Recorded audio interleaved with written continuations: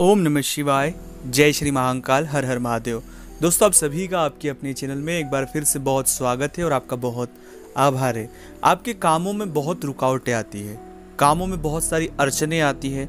कोई काम हमारा बनता नहीं है। हम जिस भी काम के लिए बहुत प्रयास करते हैं, शुरुआत में हमारे पैसे भी लग जाते हैं, थोड़ा काम चलता भी आगे तक और फिर जाके ख़त्म हो जाता है। या कोई इस तरह का सरकारी कार्य है या इस तरह का कोई हमारे जीवन में ऐसे काम है जो काम होने से हमारे जीवन में एक बदलाव आ सकता है कि ये काम हो जाए तो बहुत अच्छा हो। तो अगर आपके जीवन में कोई भी काम को लेकर बहुत रुकावटें आ रही है तो उस रुकावटों को कैसे हम ख़त्म कर सकते हैं? और ख़त्म करने का क्या तरीका है?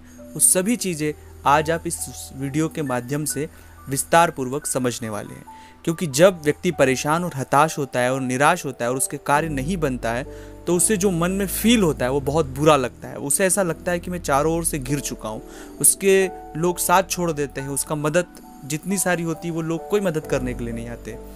तो ये जानना आपके लिए बहुत ज़्यादा ज़रूरी है, इस वीडियो को देखना आपके लिए बहुत ज़्यादा ज़रूरी है, खासकर अपनी लाइफ में जो कामों में आपके रुकावटें आ रही मैं आज आपको कुछ ऐसे तरीके बताऊँगा, जिससे कि अगर आपके किसी भी कार्य में अड़चने और रुकावटें आ रही है तो ग्रहों के अकॉर्डिंग ज्योतिष के अनुसार कुछ ऐसे सिद्ध तरीके, जिन तरीकों से शत प्रतिशत आपको फ़ायदा मिलेगा और आपके काम ज़रूर होंगे दोस्तों। आप सभी का चैनल में एक बार फिर से बहुत स्वागत है और आपका बहुत आभार है।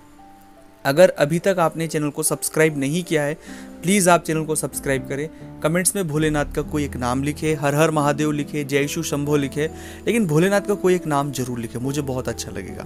आप चाहते हैं अपनी कुंडली का विश्लेषण हमसे करवाना, जैसे जीवन में कोई तकलीफ़ या परेशानी जिससे आप वर्तमान में गुजर रहे हैं, जो प्रश्न आपको बहुत बेचैन कर रहे हैं स्क्रीन पर हमारे नंबर चल रहे हैं, आप व्हाट्सएप पर अपॉइंटमेंट लेकर हमसे बात कर सकते हैं। उसका फ़ीस शुल्क लागू है, साथ ही साथ जन्म तारीख, जन्म समय और जन्म स्थान आपको पता होना अनिवार्य है।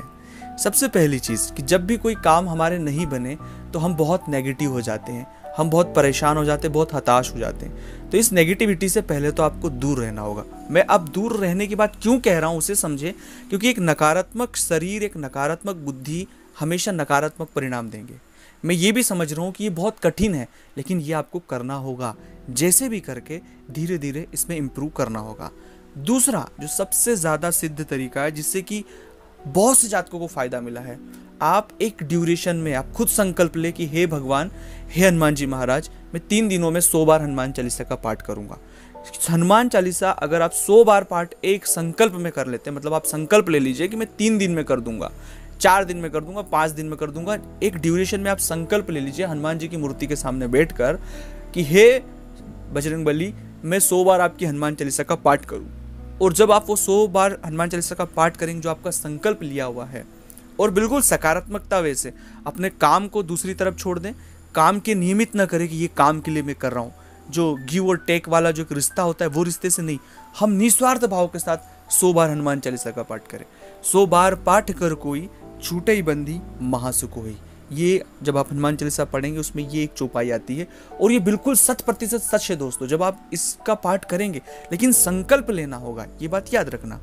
दूसरा जो महत्वपूर्ण चीज़ है, जब कोई काम हमारे नहीं बने तो हमारे जो पुराने कपड़े हैं, पुराने चप्पल हैं, जूते हैं इन्हें आप घर से बाहर कर दें, क्योंकि ये शनि के परिचायक होते हैं और ये चीज़ें बहुत ज़्यादा दिक्कतें होती है।